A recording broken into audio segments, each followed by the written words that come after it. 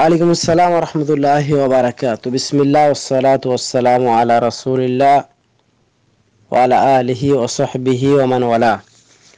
মোহতারাম প্রিয় দিনী ভাই, জানতে চেয়েছেন ফিখ সম্পর্কে।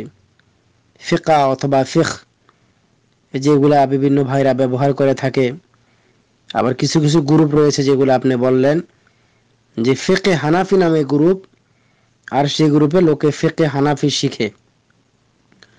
আসলে এই যে ফেখ অথবা ফেকা এটা কি কোনো ব্যক্তির সাথে খাস? না আবু হানিফা, না শাফি, না হাম্বলি, না মালিকি। এটা কোনো ব্যক্তির সাথে খাস নয় বা কোনো ব্যক্তির মতও নয়। ফেখ অথবা ফেকা ফেখ এটা আরবি শব্দ। এটার অর্থ হচ্ছে পবিত্র কোরআন এবং সহি হাদিসের মৌলিক বিধানগুলোর যে মূল রূপ, তা হলো ফেকি সাশ্রয়, যেটা বাংলা বলে ফেকা তো এটা তো কোনো মানুষের সাথে খাস না। ফেখ এটা একটা এমন একটা জ্ঞান, এটা পবিত্র কোরআনের এবং সহি হাদিসের গভীর জ্ঞান। মানে যেমনিভাবে রাসুসল্লাহ আলী ওসাল্লাম বলেছেন মাইরুদুল্লাহ বিহি খৈরান ফিদ্দিন আল্লাহ যার কল্যাণ চান, তাকে ফেখ দান করেন। ফেখ এখানে গভীর বুঝ, কোরআন সুন্নার বুঝ দান করেন। আর ফেক সম্পর্কে গবেষকগণ এভাবে উল্লেখ করেছেন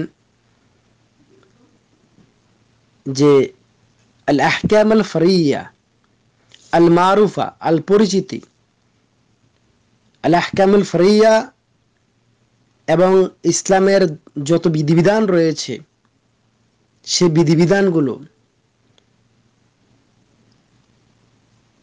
আল আহকাম আল ফরিয়াত বিল আদিল্লাতিহা এবং সমস্ত দলিলগুলোকে একসাথ করা। ওয়াত্তাফসিলিহা এবং এটার উপরে তফসির করা, ব্যাখ্যা করা। তারপরে যে জিনিসটা বের হয়ে আসে, এটাকে বলা হয় ফিখ অথবা ফিকি সাশ্রয়। পরিচিতি মানে পরিচিতি বলতে গেলে কোরআন, সুন্নার পরিচিতি। কোরআন, সুন্নার মূল বুঝ, কোরআন, সুন্নার বিবরণ। আল আহকেমুল ফারিয়া এবং শরীয়তের সমস্ত বিধিবিধানগুলো। অত্তাফসিলিহা এবং এগুলাকে তফসির করা বি আদিল্লাতিহা এবং সমস্ত দলিলগুলোকে একসাথ করা।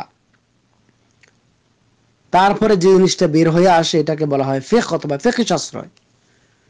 তো এটা এক একজন আলেমের কাছে এই ধরনের কিছু গভীর জ্ঞান ছিল।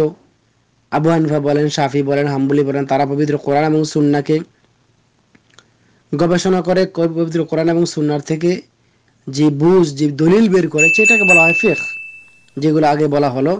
যে পবিত্র কোরআন এবং হাদিসের মৌলিক বিধানগুলোর যে মূল রূপ, সেটা হচ্ছে ফেক ফেকি শাস্ত্র। তো এটা একজনের সাথে খাস নয় যে একজনের একজনের মাসলাটি নিতে হবে। আবার এই যে ফেকি শাস্ত্র, এই যে তারা গবেষণা চালাইলো, এই গবেষণার মধ্যে তাদের অনেক সময় ভুলও হতে পারে। তো যারা মুস্তাহিদ, যারা এই ধরনের দিনই খেজমত করেছে তারা ভুল হলে আল্লাহর কাছে সোয়াব পেয়ে যাবে একটা। আর সঠিক ফটো হলে দুইটা সোয়াব পেয়ে যাবে। কিন্তু আপনার দ্বারা, আমার দ্বারা কোনো আলেমদের ফতুয়া বা কোনো গবেষকদের ফতুয়া অন্ধভাবে মেনে মেনে নেওয়াটা চলে না। তো আশা করি বুঝতে পারলেন যে কোরআন এবং সুন্নার মূল বুঝ, মূল জ্ঞানকে ফেক বলা হয়। ফেক আলাদা কোনো কিছু না, অথবা আলাদা কোনো জিনিসের নাম নয়। আশা করি বুঝতে